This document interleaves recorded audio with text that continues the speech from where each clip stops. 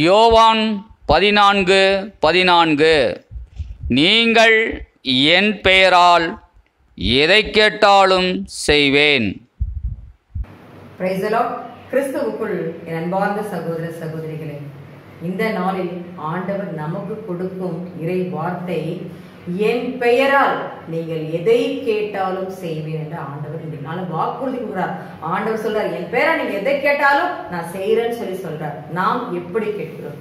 நம்முடைய விண்ணப்பங்கள் மன்றாட்டுகள் ஜபங்கள் எல்லாம் ஆண்டு பார்த்து அன்னுதினமும் ஜெபிக்கிறோம் ஜபிக்கிறோம். நாள் உபவாசம் இருந்து கூட ஜெபிக்கிறோம்.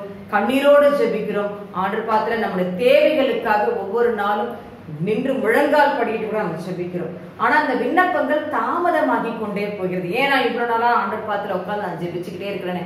கண்ணீரோடு ஜெபிக்கிறேனே. ஏன் இந்த விண்ணப்பங்கள் கேட்கவே இல்லைன்னு சொல்லி நாம் அங்காலாய்க்கிறோம் அழுகிறோம் வருத்தப்படுகிறோம். ஏன் நம்ம ஜெபம் கேட்கப்படவில்லை? ஆண்டு சொல்லாதீங்க என் பெயரால் எதை கேட்டாலும் செய்வது நம்முடைய விண்ணப்பங்கள் நம்முடைய மன்றாட்டுகளை நம்ம கேட்கிறோம். ஆனா ஜெபத்தை நம்ம கடைசியில முடிக்கும் போது ஏசு கிறிஸ்துவின் நாமத்தில் கேட்கிறேன் நம்ம கேட்கிறோமா?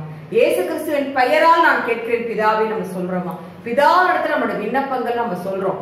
ஆனால் இயேசு கிறிஸ்துவின் வழியாக இயேசு கிறிஸ்துவின் பெயரால் ஏசு கிறிஸ்துவின் நாமத்தில் நான் கேட்கிறேன் என்று சொல்லி பாருங்கள்.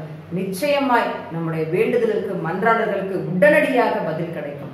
இந்த நாளிலிருந்து அதை ஒரு உணர்வு பூர்வமாக நம்ம எடுத்துக்கொள்வோம். நம்முடைய ஜெபங்கள் கேட்கும் போது நம்முடைய விண்ணப்பங்கள் நம்முடைய மன்றாட்டுகளை ஆண்டு பாத்திர வைத்து நம்ம கேட்கும் போது நம்ம இந்த ஜெபத்தை கடைசியில முடிக்கும் போது இயேசு கிறிஸ்துவின் நாமத்தில் கேட்கிறேன் எங்கள் பிதாவே.